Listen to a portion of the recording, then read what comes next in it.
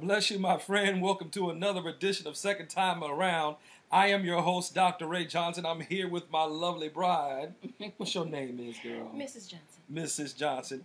And it's time for us again to have a much needed conversation of necessary endings, but also new, New beginnings. beginnings. Listen, we've been talking about what does it take for second time and next time around couples to really have a great and successful relationship. And we've kind of likened into something called the acid test, but we'll get to that in just a few moments. If you're wondering who I am, I happen to be an author, I happen to be a leader, uh, a leadership development coach, and I happen to be an educator as well. Honey, tell them who you are. Well, I am a writer, a worshiper, Uh-huh. and a woman in love with this man right here. a woman in love with this man. And so, and I happen to be a man in love with this woman, so much so that I married her. It's real now, indeed. We have indeed come together as one. And so, listen, we've been having this conversation mm-hmm. of what it takes for first time and second time around couples to begin to make it, and what it takes for them to be able to succeed in their second time or next time around relationships.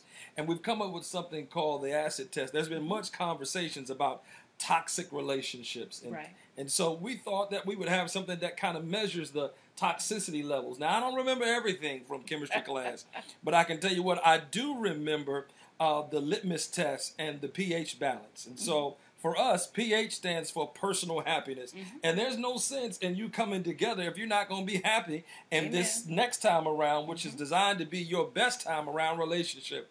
And so I can't remember all of everything that took place, but I understand that personal happiness. But I understand that there's a scale that's involved with this. Go ahead and tell them about that scale, and I'll talk to them a Uh-huh. Little bit later on about what we're talking about tonight. Go ahead. I'm sorry. So anytime you're talking about a litmus test, you're measuring the acidity or the alkal the alka the alkaline, Alkaline, measure. uh-huh. I think it's alka uh, whatever. I'm It's not alkaline. uh, and they have an ITY to it too, but it's either acidic or basic. But it also measures neutrality. There's some numbers in the middle that we don't often talk about. Yeah. But some people are pretty even killed in their relationship, and both of them have you know have this measure of compatibility that works in their marriage or works in their relationship. Uh-huh. But we said that the A, you know, we took acid and broke it apart.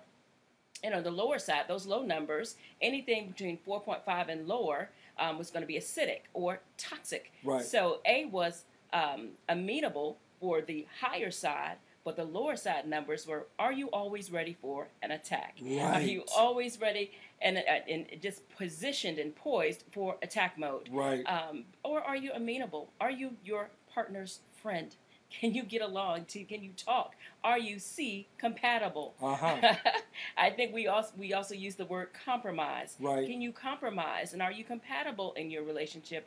Or are you contentious? Um, Mm. is there contention always around? Is there no peace Mm-hmm. in your house? Uh, I was insightful. Can you see inside? Are you able to be into your mate enough to intimacy? Wow. To have that intimacy, that joint understanding that the two of you are working together for the common good and a common goal? Or are you instigative, Mm. unable to really agree? Because there's power in unity. Mm-hmm. D was decisive. It's when you take the time to decide, no matter what, we're going to stick this thing out. We're going to work it out. We're going to make it. Or when trouble comes, when the heat gets turned up, Right. are you ready to derail and hit the road? My goodness. And one of the things that's necessary to survive the, the, the A, the C, the I, mm-hmm. and the D to make sure that the toxicity levels are low and you don't have acid spewing all over the place in your relationship is just on our shirts tonight. It says couples who pray together mm-hmm. stay together. So you've got to make sure that you spend some time connecting with each other and praying. God bless you, Sister Sheila. God bless you, Sister Mary. God bless you, uh, Sister Sanita. Go ahead and share this. If you haven't shared this tonight, tonight is going to be a great, great episode. Want you to tune in. Make sure that you tag a friend because tonight, you know, it's summertime. It is. And as it is summertime, uh, it's a, a, a time where uh, people go out to the beach. They spend time in traveling. I know we're getting ready uh, for family vacation. They spend some time with each other. But when I think summer, I think hot.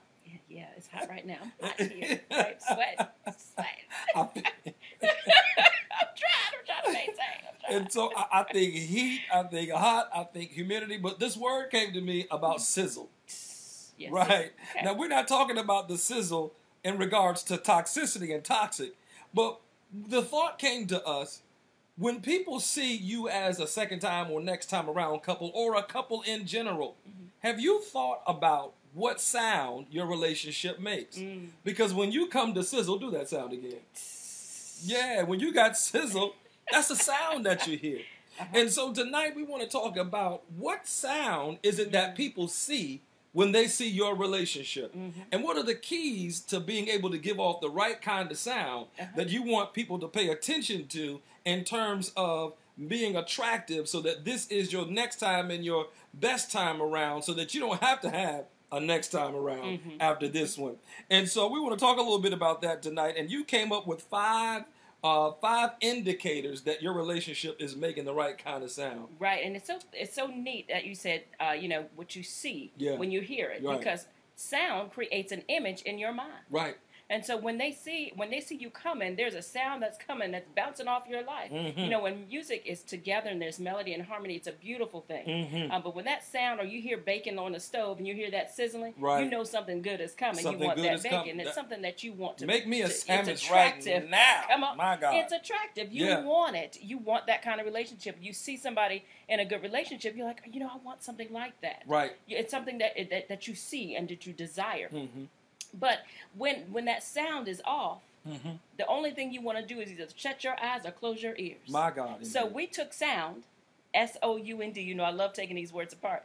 S O U N D, and we started to look at some words. Mhm. So the S we said, in your relationship, when people see you, are you giving each other the silent treatment, or is there a serenade? My God. Is there a song coming off your relationship? Uh huh. Are you wooing each other still? Right. Or have you gone silent on each other? Because when you start to go silent, Mhm. that is a very good indicator that something's wrong. Well, you know, the scripture reminds us. Now, I know it ain't Sunday morning, but it's Monday. I still got a little residue from Sunday on me. Yeah, come on, Uh, uh, w- w- one of the things is the scripture tells us don't let the sun go down on your wrath. Mm-hmm. Don't go to bed angry at night. And when you see that there's hostility that has happened Mm-hmm. from Monday to Tuesday to Wednesday, let's say it's Thursday or Friday, it's date night time, and y'all just trying to keep the date because you already paid for the ticket and you already paid for the reservation, so you ain't trying to waste no money. But all of a sudden, another couple from across the room or others see you, what sound is the relationship making? And people Right. can read body language. Do you want to give the sound off of the relationship that there's harmony and there's equilibrium? Well, you've got to make sure that you address issues. Now, I don't mean don't take time apart, because sometimes you, you need a, a walking away moment for a minute Uh-huh. so you can regather yourself, Yes, so yes. you can come back together, so you're not in the house throwing stuff and you ain't got furniture moving around up in there. Mm-hmm. Okay, because we don't need that. That's real toxic. Yeah. And those kind of relationships don't need to be together. And you want to make sure that you don't get to a place where you're automatically flowing in like that. And silence is what can produce that because then there's an explosion that comes. Mm. But I'm not talking about the silence that's necessary for a moment Uh-huh. till you gather yourself and then you're able to come back together and then you guys are able to discuss whatever the issue there is. We're talking about the kind of silence where the relationship is dead. Mm. You ain't talking to her. She ain't talking to you. Right. Y'all are just hi and bye in the morning, and then you come in at night. One is on the couch, one is in the bed, one is staying up late working uh, because they're so uh, uh, um, so frustrated better with to be at work better to be be at at work home. than be at home to have conversation. Those relationships don't make good sounds, Mm. and there's no melody Right. and no harmony.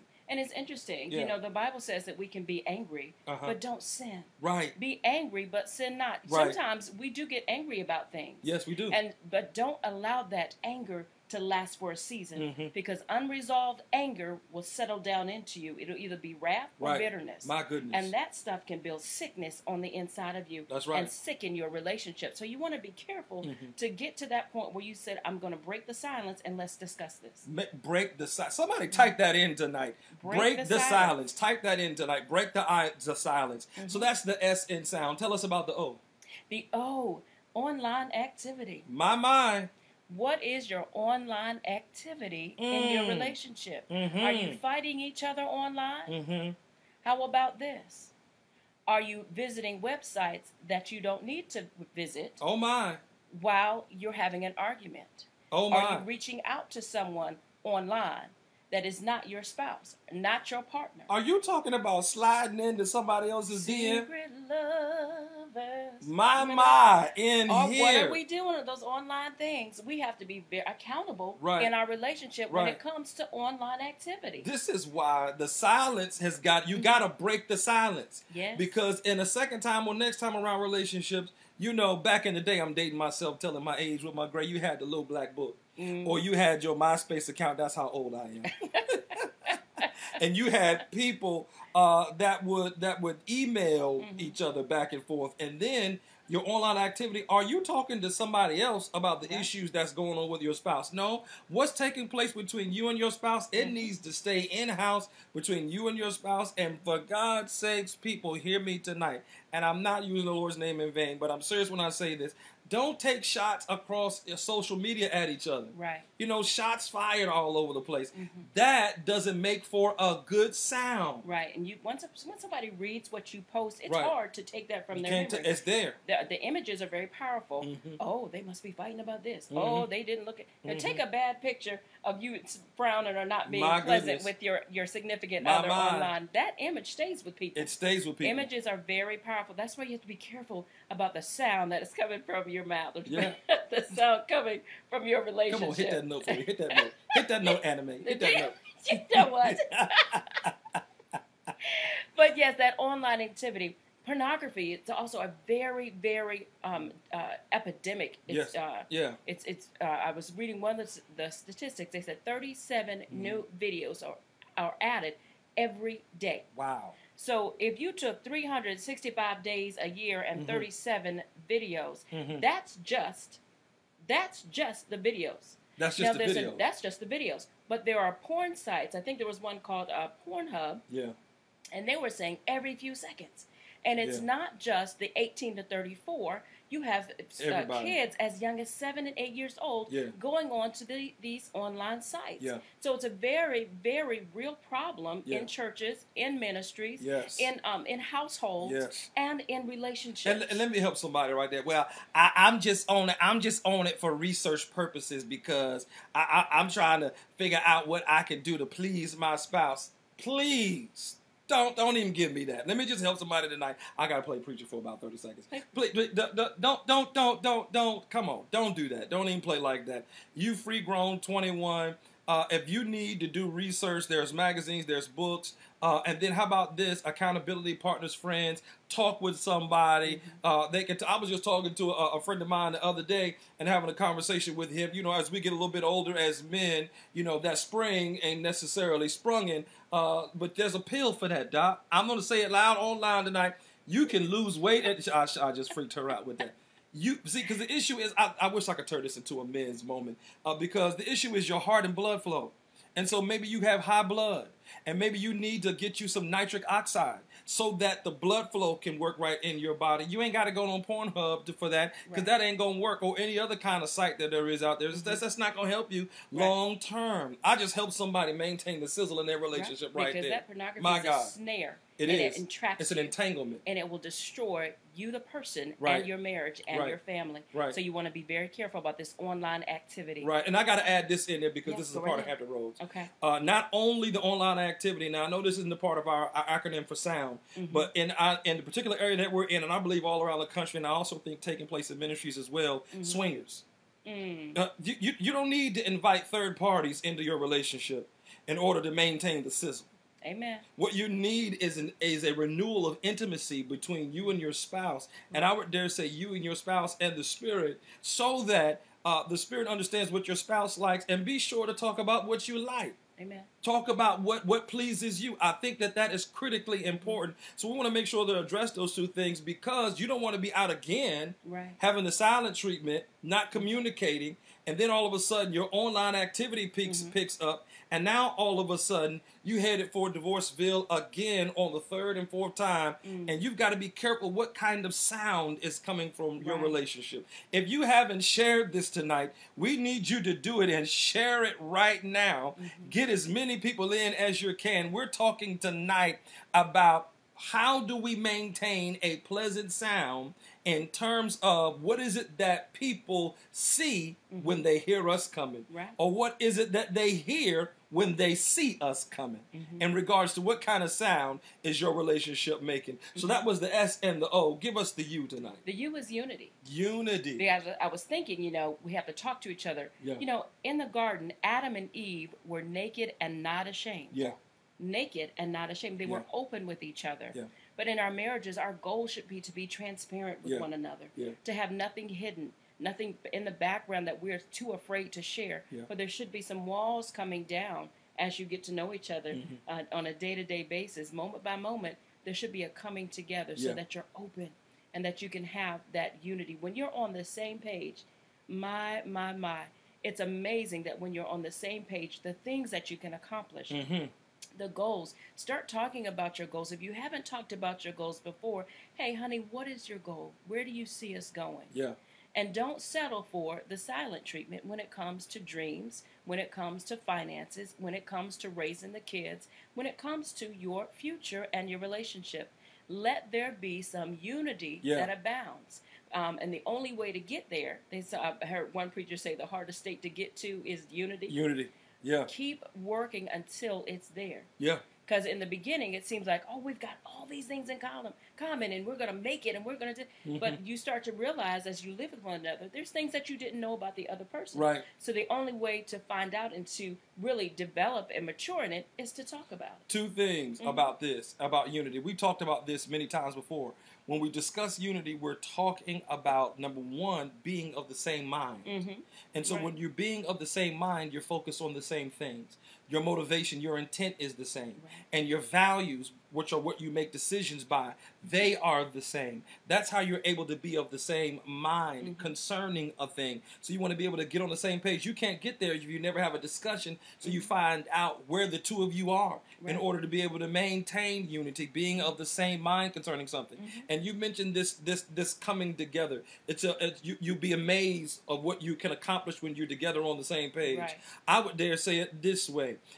when any two of you agree as touching Mm-hmm. nothing shall be denied you no thing that you decide to set your mind to to accomplish as a goal will be denied you Mm-hmm. when the two of you come together get in agreement and be of the same mind Right. it's like that oil that flows down Yeah. uh, aaron's garment down, down right on down from his beard first right on down to the skirts of his garment and the, then the text says for there come on somebody type it in right there Yes, right there yes, type there. that in tonight Uh-huh. right there right Uh-huh, there right there, there, the lord commands, his blessing the blessing. commands the Yeah. blessing. So that's so important tonight when you start talking about what sound. Mm-hmm. In other words, it ought to get to you. ought- You ought to get so harmonious in your relationship with your spouse uh, that she can start the sentence you finish, it. Mm-hmm. And that you all can be in two different, two, two separate places. We've done this many times before. I was just getting ready to text you. I was just thinking that. That's how you getting together of being of the same mind and being able to flow well together. I'm telling you, what sound is Right. your relationship making? Yes, and let's be clear. You don't stop being an individual, Right. and you don't stop having your own personality, Right. Nor are you codependent, but you are complementing each other That's as good. you move forward. That's good. You are complementing. There are strengths that your your significant other has that you don't have, and there are weaknesses that they may have, but you may have that strength, Right. and you're helping each other along as you go That's good. along. That's you are working together. It's like a braid.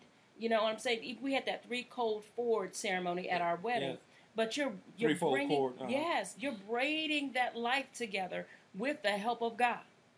You are braiding that life. It's a strong rope, a strong tie that the two of you have together. I'm trying to tell you, weaving the tapestry of our lives together to create a canvas that has not yet been seen. Mhm. What sound is your relationship making? Yeah. So that's the S O and the U. Talk to me about the N. What is the N? Ooh, the N. Uh huh. The N stands for nonverbals Wow. because there's all types of communication. Mm. And one of the strongest types is the nonverbal communication that the two of you have. Mm, mm, mm, The two of you can be together, Mm-hmm. but your nonverbals Mm. will tell everybody that you really aren't. Mm. So you talk about some nonverbals. So you, you- you you- say I have some nonverbals So, so, sometimes. so well, know, and every sister got nonverbals. You know, she got eyes. When the eyes get big, when the eyes get to peering at you, you got the neck roll. You got the, you got the, you got the talk to the hand. You got the, the, the teeth smack. Come on, brothers, don't leave me out of here. There's a whole lot more. Uh, the men got nonverbals too. You know, heavily walking through the house, the heavy breathing, How about slamming doors? the slamming Not- doors, my, my kids try to get get away with My goodness, in Uh-huh. here. You don't own nothing around here. Don't be slamming doors. This ain't your house. Yeah, anyway, don't get me started on that. Nonverbals. You want to minimize the nonverbals till you get to the point where you say what you mean, you mean what you say, and you're able to do so in a decent way to communicate and clearly communicate your point of what is bothering you or what's Mm-hmm. Right. aggravating you or what's gotten on your nerves or what you don't like or where you want to see a change at. Nonverbal communication only exacerbates things Mm-hmm. and you never get to that point of unity. So you've got to manage yourself and listen people, it's time to be grown. You're Yeah. not you're not two. So you know it's an interesting thing. Sometimes the older we get, the younger we behave, Mm. and, and we, we need to get to the place where we start to carry ourselves like adults Mm-hmm. and be able to sit down and have a conversation, communicate with each other Mm-hmm. about where we are, because you want to manage the nonverbals so that the nonverbal doesn't mismanage your relationship. Right, and you know, Go ahead. um, Dharius Daniels, he talks about the emotional intelligence. I think there's several authors that talk about emotional intelligence. Some of us are not aware of our. Mm-hmm. We're not as well. We've been doing things for so long Yeah. that we don't realize that our face is scowled. Well, th- th- we we are not self-aware of ourselves, Mhm. of who it is that we want to be, Right. who it is that we are, and what it is that we're like. Yes. And so many times when you're not self-aware, hmm then your emotional IQ begins to decrease because you haven't even learned how to manage yourself Uh-huh. before you even enter the relationship. And that's what produces toxicity levels that are way above 8.4, 8.5, 9, Mm. 10, 14, 20. My Mhm. God, I, sh- 20 is really burning up something right there. My God. Does it go that high? I don't think it go that high. I think I just went there. But anyway, charts, so tonight we're talking about how well do you manage the sound of your relationship? Mhm. Are you all a symphony? Is Yeah. there an orchestra of harmony between the two of you? Right. Are you marching to the beat of each other's drum? And have you created a drum beat all your own that That's signifies a sense of unity between the two of us, between the two of you? And so tonight we took the acronym SOUND and we're all the way down to the D. Before we get there, the silence or are you ser- serenading? Mm-hmm. Uh, online activity, got to manage that. Maintaining unity and being careful about your nonverbals. Right. Tell us what the D is tonight. the D is dialing.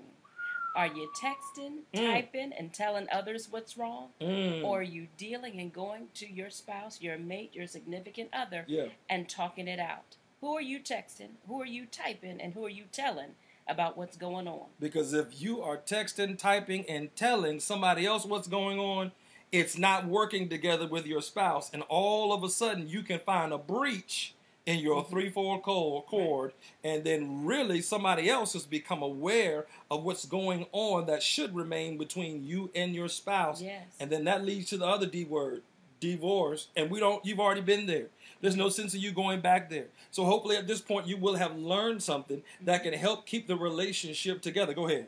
Yes, because when you're doing that typing and that texting and that telling, Mhm. you are breaking uh, bricks of trust. You Mm. are tearing that wall of trust down in your relationship. Mhm. And when your significant other doesn't feel like they can trust you, they are going to go silent on you. My if they God. feel like every time something happens, you go and tell a family member or you go tell a friend, That's good. they're going to stop talking, and that's that's going to take you all the way back to number one, and you're going to experience that silence treatment and wonder why aren't you talking to me? Right. Well, they can't talk to you because they can't trust you. My God. And that's a very painful thing to have to rebuild. It's hard to rebuild trust once trust is broken. Mhm. And so, in a relationship, first, second, third, fourth, fifth, and how many ever times you have to go through. Look, look, we ain't got time for third, fourth, or fifth. Mm, mm, Yeah, we, we, we don't want all that. We No. know five is grace. We ain't trying to go there. No, no, this is it. Okay, No, no, I just no, want you to know this. Yeah, we it we right had a here. number of witness. Yeah, too. hello, Number hello. of witness. Y'all witnessing this right, and we we just This is it. Okay. Uh, it's too much work. Divorce is a very painful thing. Okay, Yes. we're not doing that again. And we might even have a show where we talk about overcoming the ills of divorce and how to Mm. make it through, and Right. not because you need to get through that first before you can be prepared Yes. to give off the right fragrance and the right sound Yeah. uh, for the next relationship that the Lord wants you to have that He may send your Absolutely. way. So when we're dialing, make sure that we're texting, we're telling, and we're typing in to our significant other. hmm We've got to get to that and build that trust so that when there's a, a dependency, not a codependency, but you can depend on your spouse or your significant other that when you tell them something, that it's going to stay with them. And when they tell you something, you are building, there's a safe place. Your relationship ought to have a safe place. It ought to be a safe place for each other. Yeah.